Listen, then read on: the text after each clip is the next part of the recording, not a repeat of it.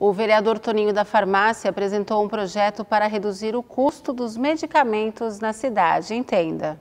Comprar medicamentos pode gerar uma despesa alta no orçamento do brasileiro que nem sempre tem condições de arcar com esses custos.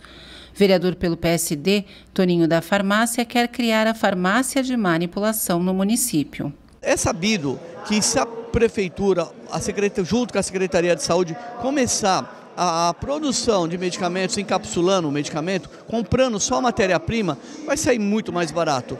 O, porque hoje o pó do medicamento, a, maior, a maioria dos sais que é utilizado, vem tudo de fora, é importado, com um custo muito baixo. A ideia do vereador é que não falte medicamento para a população da cidade. Acabar com essa falta de medicamentos que vergonhosamente atinge a nossa cidade, o nosso país. Mas quem mais paga, quem mais sofre é a população. E às vezes são medicamentos que não dá para esperar. Se a secretaria conseguir a, a, criar o laboratório de manipulação, ela vai custear, ela vai ter um custo muito abaixo do licitado hoje. O que é muito caro hoje, amanhã vai ser barato. O Brasil é um dos países com maior carga tributária sobre medicamentos no mundo.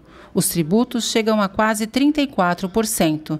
Segundo pesquisa realizada pelo IBGE em 2009, 52% dos brasileiros abandonam tratamentos de saúde por falta de dinheiro para adquirir os medicamentos. Eu estou trazendo uma alternativa. Quem vai ganhar com isso? É a população.